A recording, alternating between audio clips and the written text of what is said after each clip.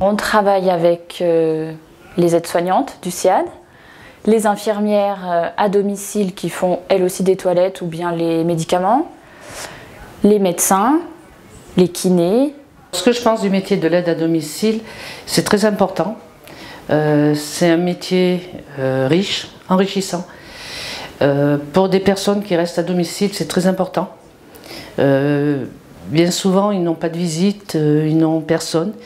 Et heureusement qu'ils ont les aides à domicile ou les aides-soignantes. Ou... Voilà. Pour échanger avec les différents intervenants, on a un cahier de liaison, souvent chez les bénéficiaires, ou alors des fois par euh, téléphone, ça nous arrive. C'est très bien de travailler en binôme avec les aides à domicile, euh, que ce soit pour les lever, les coucher, les repas. Euh, on est en coordination et c'est très bien. Et il faut que ça continue. Alors au niveau du lever et de la toilette, c'est vrai que quand on est avec le, une autre intervenante, c'est plus facile au niveau des transferts, par exemple pour euh, la lever, la déshabiller.